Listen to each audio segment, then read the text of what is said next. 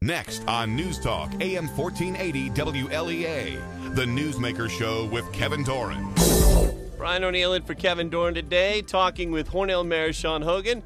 Sean, thanks for coming on. My pleasure, Brian. That Huffington Post website has a story about how President Obama is expected to sign an executive order that would ensure police departments that get military equipment would have the proper training on how to use it. Mayor Hogan, you're a longtime member of NYCOM, the New York State Committee of Mayors. Your thoughts on police departments across the nation getting this kind of equipment?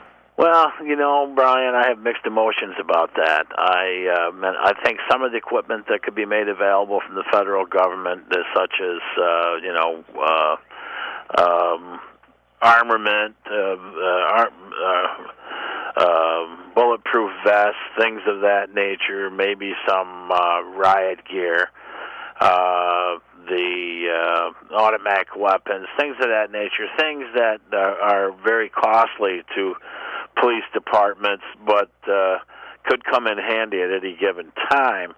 But I'm not in favor of these huge armored vehicles. Um, I just don't see much uh, use for them, at least in a department our size. Um, you know, they're they were uh, vehicles that were designed and uh, are outfitted for war, and hopefully uh, they they certainly don't have any business being driven through the the streets of our communities. So I uh, you know I, I draw the line at that type of thing. But I think the president is right. If uh, if uh, the departments, various law enforcement agencies are taking that equipment of any nature, they should have the proper training uh, to be able to use it and implement it for the benefit of their communities in any uh, in any crisis, and they ought to be able to uh, you know to uh, have some policies and procedures and protocols that would uh, that would uh, outline the situation when that type of equipment can be used. So I think the president is correct.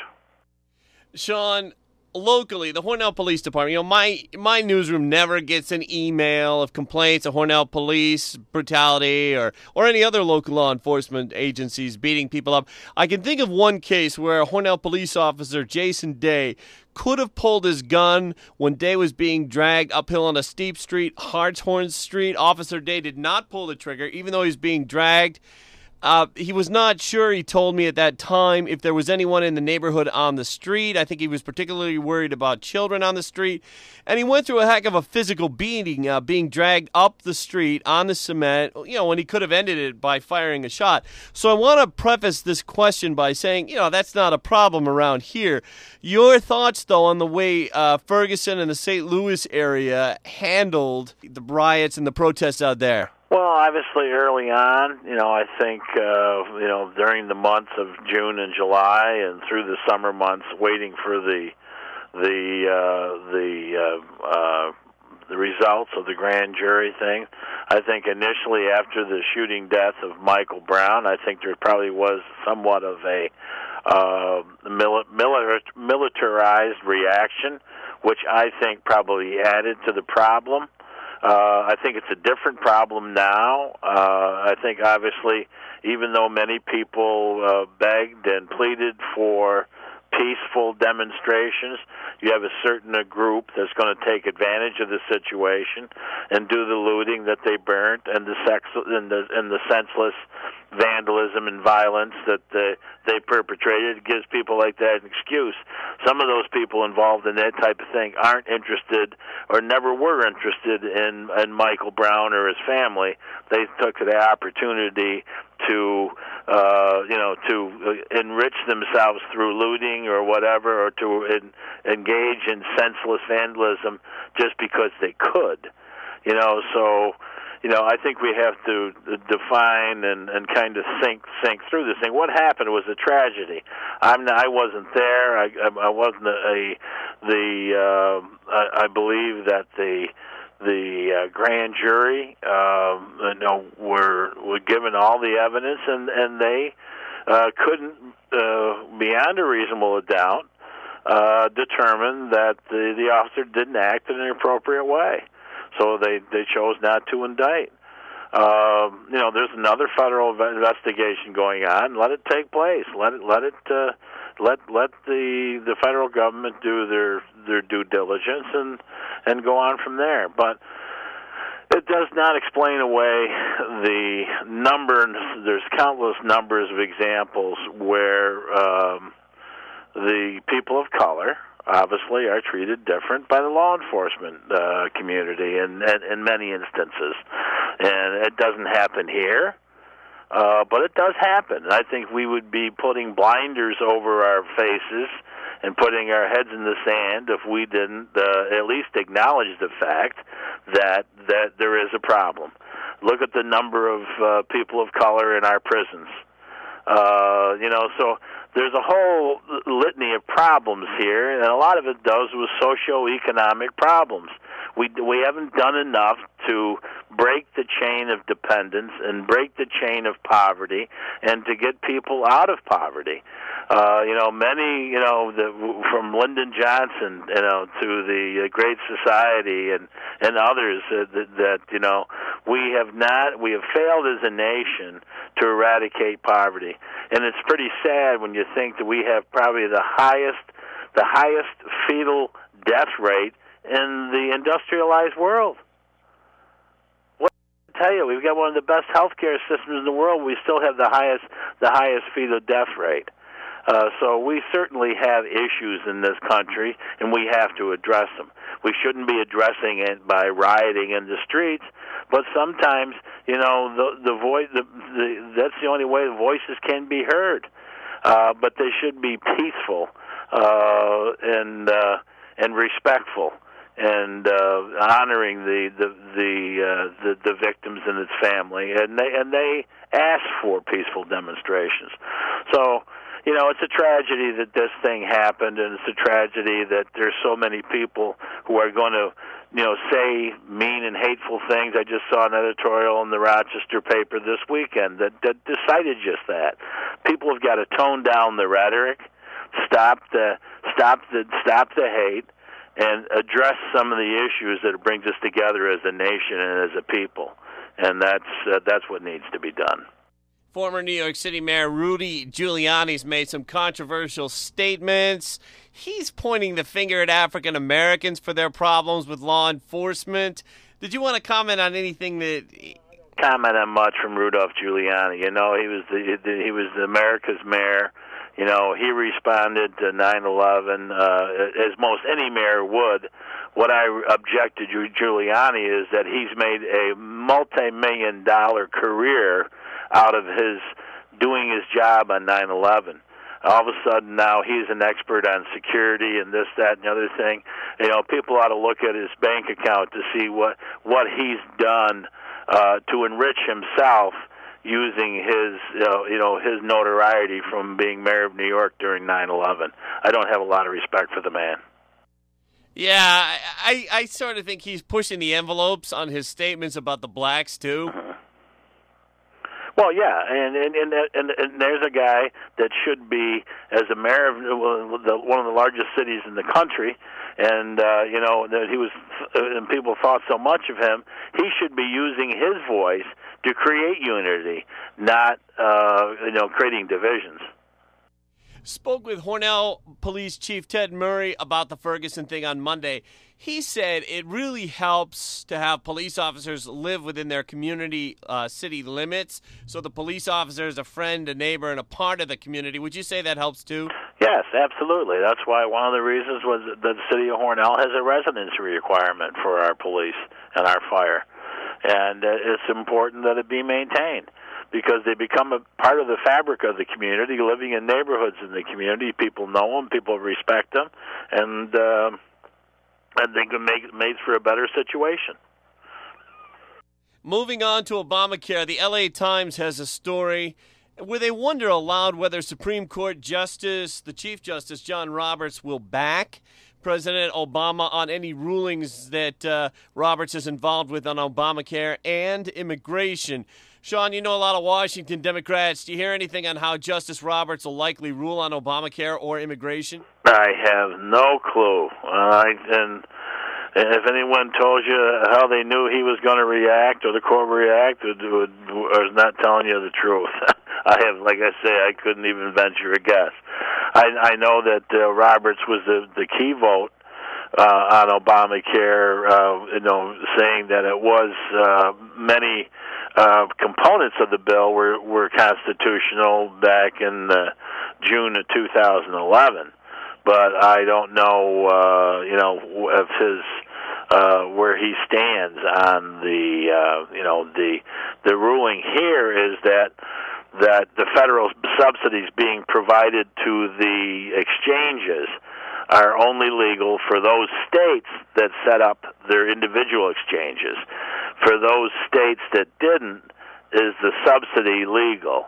Uh, that's the question before the Supreme Court, and we'll see how it turns out. I would assume it would be, but I I don't know. But then they have to understand that the whatever decision is made by the court is going to adversely impact almost 10 million Americans for the for the for the first time have health care. So there's going to be a tremendous ripple effect to the decision, any adverse decision. And on the topic of healthcare, is there anything new you can tell us about St. James Hospital in Hornell?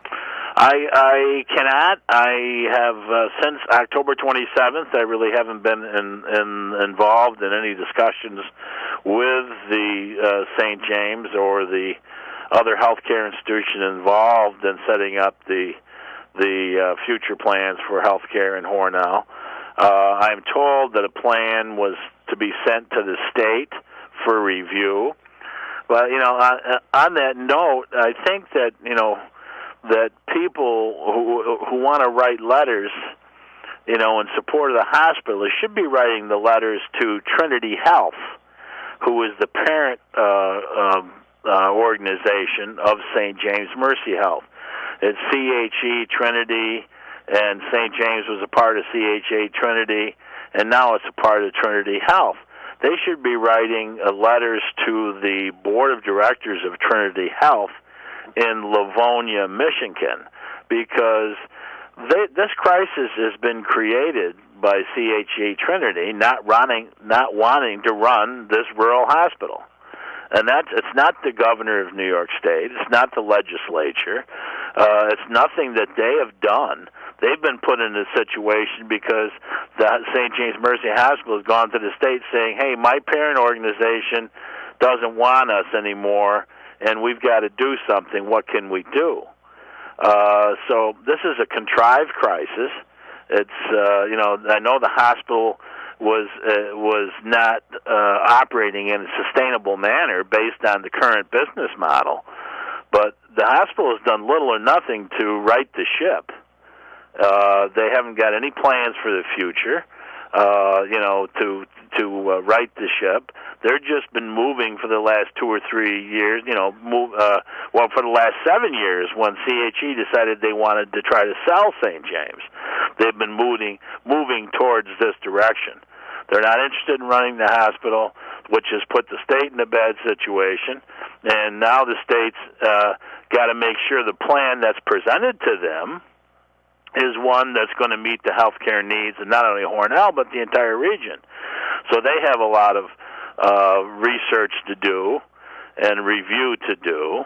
And, and to my knowledge, there's been no hospital closure plan submitted to them.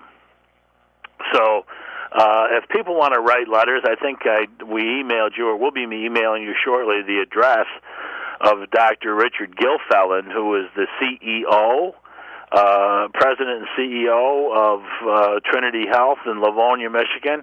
We'll have that address for your listeners, uh, and uh, they should write letters.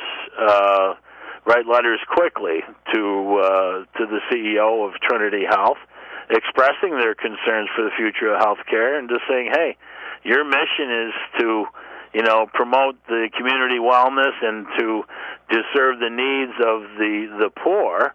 Uh, what better way to do that than to stay here and try to make something of this hospital uh, and to uh, you know manage it uh, to right the ship and manage it for future growth versus to just close it. So uh, that's what I know, and I'll know more when the community meeting is on Thursday night. Uh, at 6:30 at the main place on Main Street in Hornell. But I urge your listeners to write uh, Dr. Richard Gilfillan, CEO of Trinity Health in Livonia, Michigan. We're talking with Hornell Mayor Sean Hogan, Brian O'Neill in for Kevin Doran on the Newsmaker Show. More with Mayor Hogan in just a moment. Back on the Newsmaker Show, Brian O'Neill in for Kevin Doran. Today on the phone with Hornell Mayor Sean Hogan. Sean, your thoughts on how Governor Cuomo handled the Buffalo Storms? Well, uh, having not been a part of the Buffalo Storms, uh, I can't. Uh, you know, it, it I, I'm just doing, uh, giving you what I've read in the paper, what I've seen from an outsider looking in, is that he did a remarkable job. He had boots on ground up there. He had his whole uh, his whole cabinet. The governor himself was out uh, in many locations. In essence, he moved state government from Albany to Buffalo during the crisis. That's the first time ever I've ever I've ever heard of a governor doing that. So obviously, uh, the governor has got some valuable experience through his, uh, you know, being uh, uh, uh, dealing with Hurricane Sandy and the uh, the many issues that that that hurricane uh, that created down in Long Island in the in the city of New York and uh, so he is very in tune to uh, disasters and the scale of disasters that uh, that seem to be hitting New York State. Uh, and this was a perfect example of what he talks about. In response to Sandy, he had all those emergency preparedness meetings throughout the state and uh, you know we had one here this summer, and everyone was issued a a duffel bag with you know survival things in it, and radios and things like that, and water. Uh, so the governor certainly has taken a more active role in uh, preparing citizens of New York for disasters, and I think uh, his record is, is is very good on that uh, uh, in in that area, and he shows it by, like I say, moving the Albany to Buffalo for four or five days during the crisis, and uh, uh, he gets high marks from everybody, uh, including the Buffalo News and a lot of the Buffalo news media.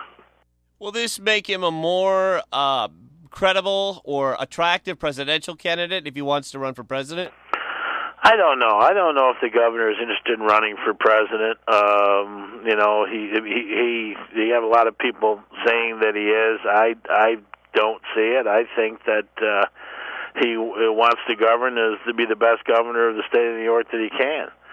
So um I will uh uh I'll leave it at that. I, I don't certainly certainly I don't think he'll challenge uh, Hillary Clinton and Hillary right now is the odds-on favorite and the the hopeful candidate of many thousands of people. But we'll see. Hillary may not choose to run. It'll be a wide open field. Then I know I know that uh, the Webb, uh, James Webb, uh, the former senator from uh, uh, from Virginia, has already uh, announced his candidacy as a Democrat. And there's a lot of people who think highly of Elizabeth Warren in Massachusetts. I was just about to ask you about her. What do you think of her if Hillary doesn't run, Elizabeth Warren? Well, I think uh, Elizabeth certainly is a defender of the middle class and a champion of uh, you know of of the middle class, and uh, she is a good watchdog on the the uh, you know the industrial the military industrial complex, so to speak, that Eisenhower warned this nation about back when he left office.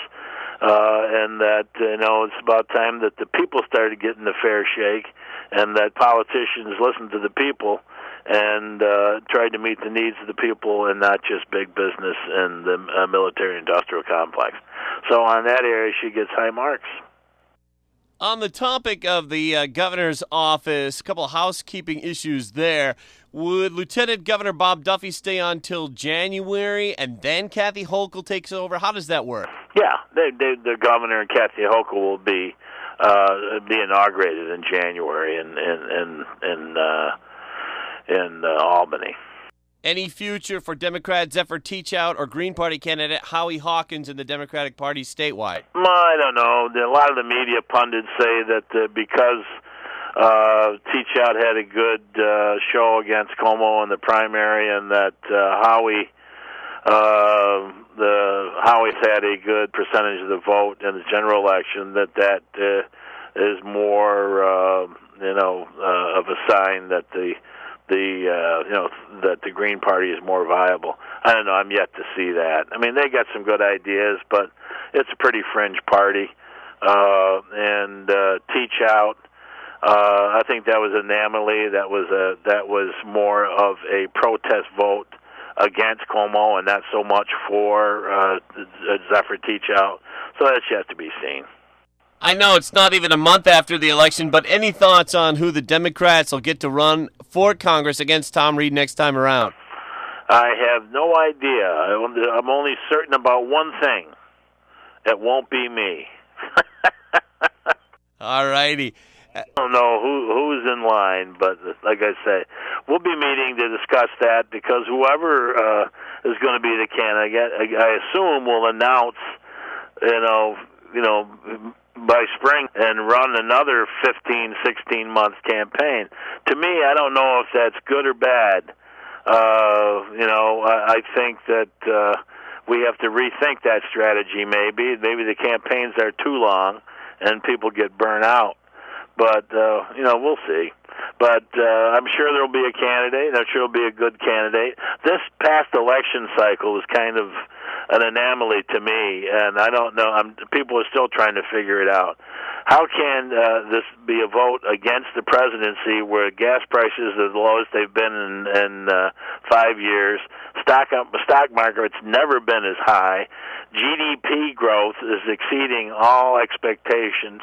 Uh, you know, and the unemployment is the lowest it's been since 2008, and the president doesn't get any any um, uh, uh, credit for that. Uh, and there's more people insured today than ever before in this country. People have health care. So I'm just I'm just scratching my head why Democrats ran away from the president when they had so much to to run towards them for. Were the critics too influential on the Democrats? Pardon me? Were the Republican critics too influential? I think one of the problems is Fox News. I think too many people are addicted to their their uh, lack of uh, of uh, reporting the facts instead of reporting what the the news is they'd like to see it.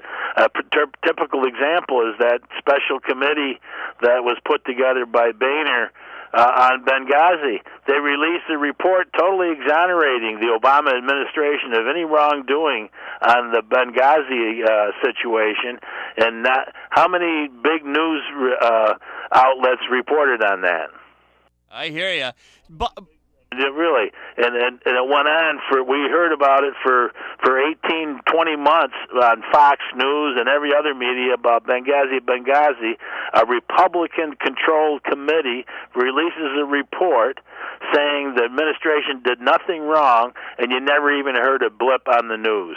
So you tell me who's getting uh, fair and unbiased reporting by the way, did you see the story about how the press spokesperson for Republican Congressman Steve Fincher of Tennessee had to resign after she made snotty comments? She made stupid comments about the president's daughters.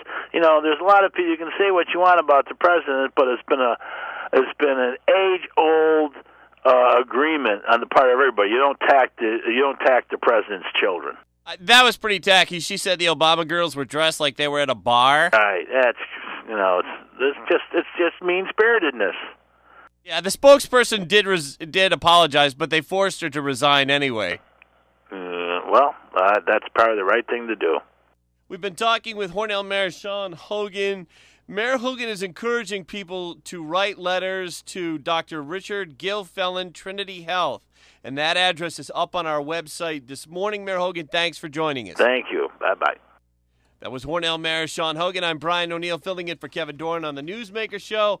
NBC is next on AM 1480 WLEA Hornell.